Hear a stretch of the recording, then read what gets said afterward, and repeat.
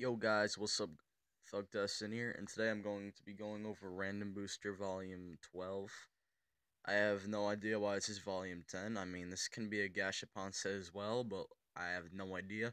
So I'm just going to title this video, um, Random Booster Volume 12.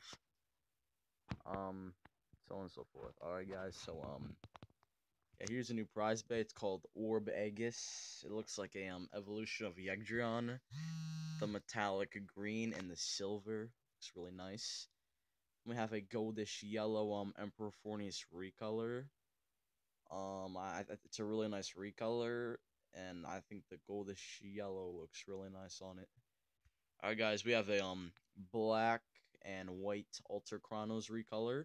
Kind of looks like the Nightmare Longinus recolor we got in the last random booster. Very cool.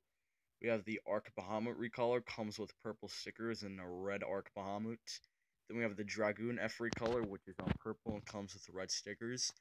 I'm not sure if you guys noticed this, but like if you look at Arc Bahamut and Dragoon F side to side, um, you can see how um the stickers and the color of the bey is like switched up. Arc Bahamut hat is red, and um Dragoon F has red stickers, but Arc Bahamut has purple stickers, and Dragoon F is purple. That's I found I found I found that really cool. And um, if you want to buy Orb Aegis, um, I suggest you buy it off of eBay.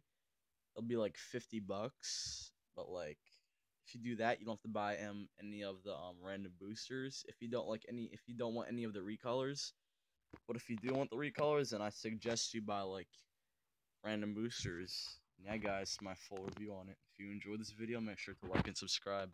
Have an awesome day.